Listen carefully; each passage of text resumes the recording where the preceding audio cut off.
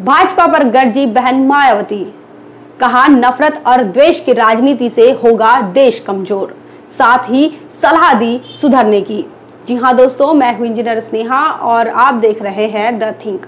अगर आप हमारे चैनल पर नए हैं तो उसे सब्सक्राइब कर लीजिए, साथ ही बेल आइकन प्रेस कर लीजिए।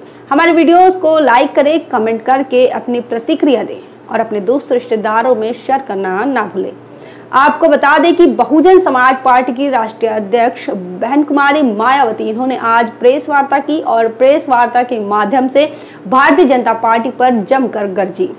उन्होंने भारतीय जनता पार्टी को सलाह दी है कि जिस प्रकार आप नफरत और द्वेष की राजनीति कर रहे हैं, इससे होना जाना कुछ है नहीं, लेकिन देश कमज़ोर होगा। षडयंत्र के तहत लोगों की धार्मिक भावनाओं को भड़काया जा रहा है।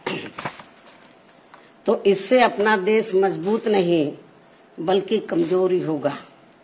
उन्होंने यह भी कहा कि जिस प्रकार समाजवादी पार्टी और भारतीय जनता पार्टी की मिली भगत से उत्तर प्रदेश के अंदर जो सांप्रदायिकता का माहौल तैयार किया जा रहा है वह वह इसलिए तैयार किया जा रहा है ताकि बढ़ती बेरोजगारी बढ़ती गरीबी को लेकर कोई सवाल ना करे। बीएसपी का ये मानना है और कहना भी है कि देश में निरंतर बढ़ रही गरीबी बेरोजगारी व आसमान छू रही महँगाई आदि पर से जनता का ध्यान बांटने के लिए बीजेपी व इनके सहयोगी संगठनों द्वारा चुन चुनकर व खासकर यहाँ धार्मिक स्थलों को जो निशाना बनाया जा रहा है ये किसी से छिपा नहीं है। उन्होंने आगे यह भी कहा कि बेरोजगारी, गरीबी और महँगाई संपूर्ण देश के अंदर चरम सीमा पर है, आसमान छू रही है और ऐसे में तमाम तमाम भारतीय जनता पार्टी, तमाम सरकारें, केंद्र सरकारें और राज्य की सरकारें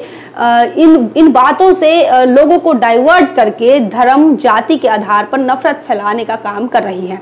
और इसीलिए बहुजन समाज पार्टी के राष्ट्रीय अध्यक्ष बहन मायावती, इन्होंने भारतीय जनता पार्टी को सलाह दी है कि अगर आप वक्त पर नहीं सुधरे तो देश कमज़ोर हो जाएगा।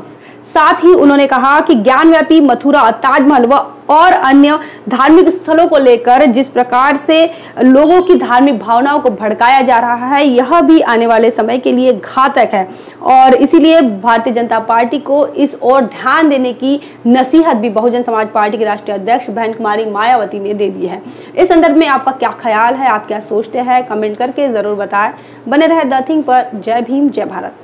बहुजन विचारधारा को घर घर तक पहुँचाने के लिए हमारे यूट्यूब चैनल को सब्सक्राइब करें लाइक करें कमेंट करें शेयर करें और बेल आइकन की घंटी दबाना ना भूलें।